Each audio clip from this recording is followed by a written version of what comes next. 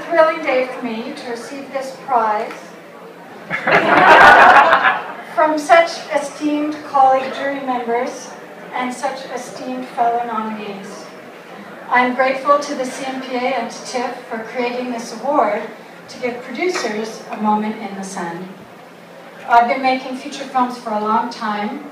My first on-set experience was Quest for Fire, and alongside Jean-Jacques Annaud, I've also worked with William Friedkin and Alan Rudolph, as well as Bruce LaBruce and other filmmakers in the room.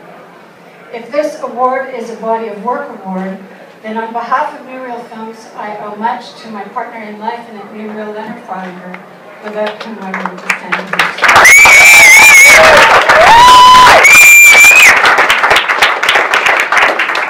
New Real's 13th feature film, Gerontophilia, which screens here on Monday night, and we're thrilled to show it to you, screened last week in Venice to a standing ovation.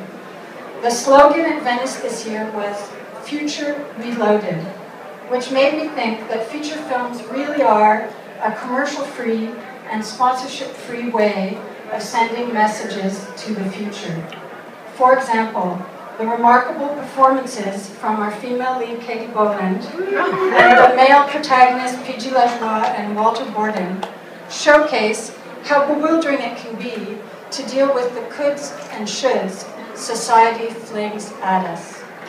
I look forward to seeing my fellow nominees' films, and I encourage everyone here to see all the nominated films and reflect on the independent and feisty images we are sending with love into the future. Thank you.